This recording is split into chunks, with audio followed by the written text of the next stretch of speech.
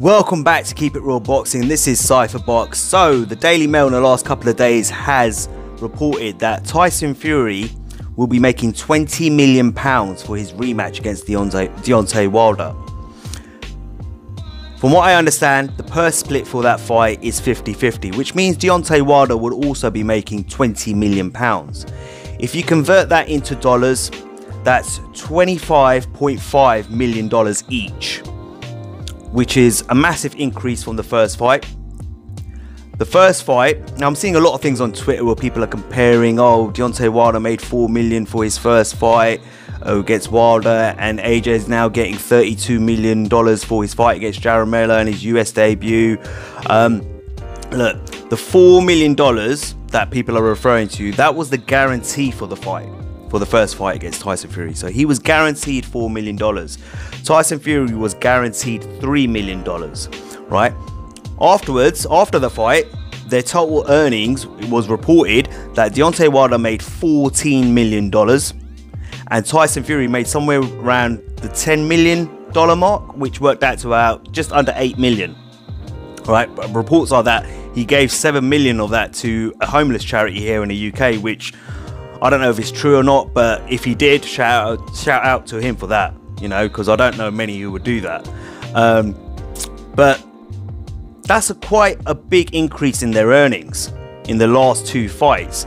And my question is, what does this do for future negotiations with Anthony Joshua? Now, it's also been reported that Anthony Joshua, for his fight with Jarrell Miller, will be making somewhere between 30 to 32 million dollars. Convert that into pounds, that's 25 million pounds, which means he'll getting he'll be getting in pounds. He'll, he'll be getting five million uh, more pounds than five million pounds more than Tyson Fury and Deontay Wilder. So it feels like if these are true reports, if these reports are true and accurate, that means it feels like Tyson Fury and Deontay Wilder are closing the gap on on um, Anthony Joshua, which means what does this do for future negotiations or potential negotiations with Anthony Joshua? It's going to make them a little bit more difficult. Now, I've always said from day one that I agree that AJ is the A side and he deserves to ask, you know, it should be a 60 40 split. I've always said that throughout all my videos. You all know that. It's nothing new you're hearing from me. All right.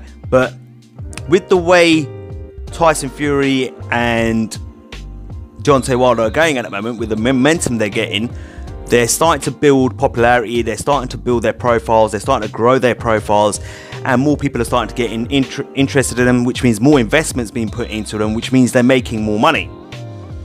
And the longer this continues, the tougher the negotiations with AJ are going to get. Yeah? And the tougher the demands are going to get from Tyson Fury and and Deontay Wilder.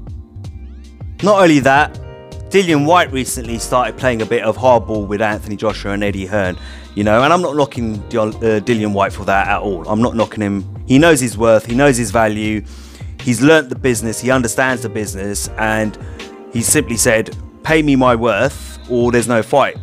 And I'm probably going to do a separate video on that and talk about that in a bit more detail because um, there's other things that are floating around in my mind regarding that whole situation with Dillian Whyte, Matchroom, PBC, Al Haymon, etc. But it kind of shows to me that I suppose there's more of a question that from coming from me. Is Anthony Joshua starting to lose his A side leverage over these negotiations with Deontay Wilder and Tyson Fury?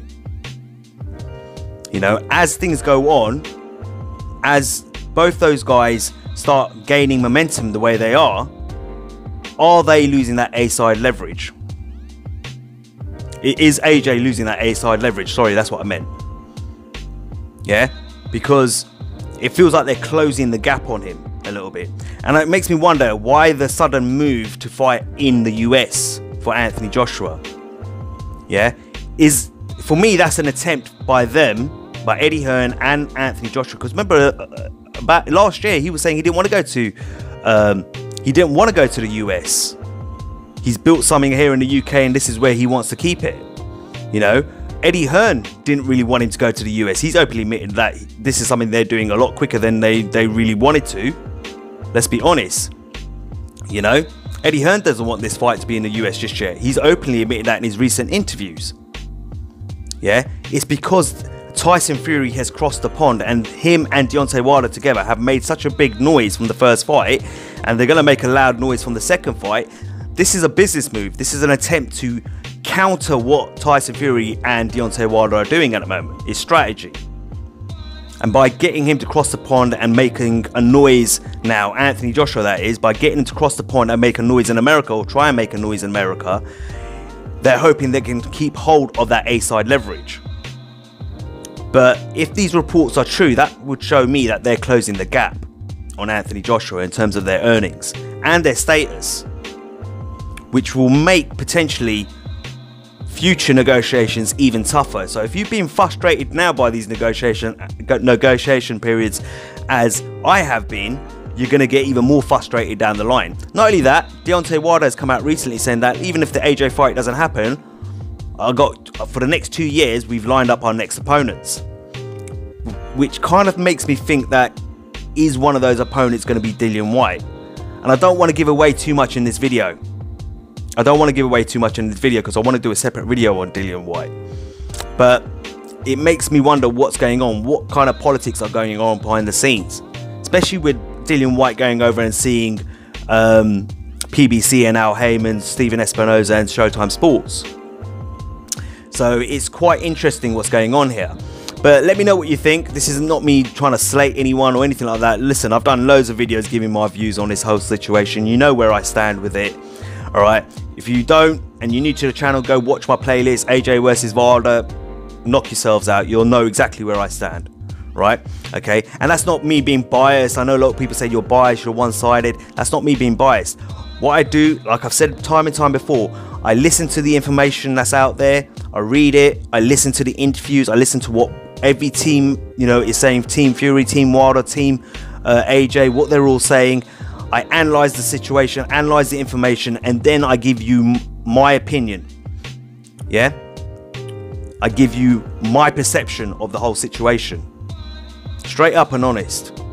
So, you know, it's quick, it's easy for you guys to jump on and say, oh, you're being one sided and biased, but that's the way I just see it.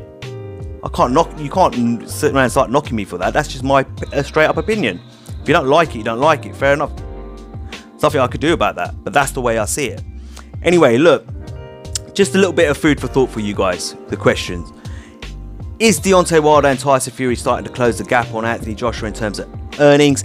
And is there a danger that he loses he's going to start losing his A side leverage over these two guys. Food for thought. Love to know what you guys are thinking out there. As always, guys, like, share, and subscribe. Until next time, this is Cypherbox reminding you to keep it real.